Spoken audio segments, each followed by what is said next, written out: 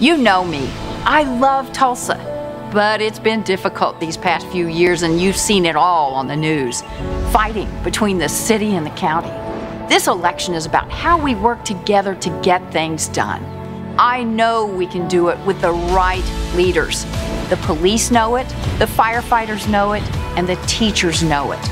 Actually, we all know it. It's time for unity. It's time we elect a new mayor, G.T. Bynum.